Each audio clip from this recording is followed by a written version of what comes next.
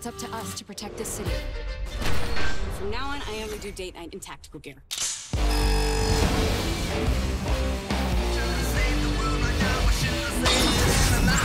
Aquarius apocalyptic.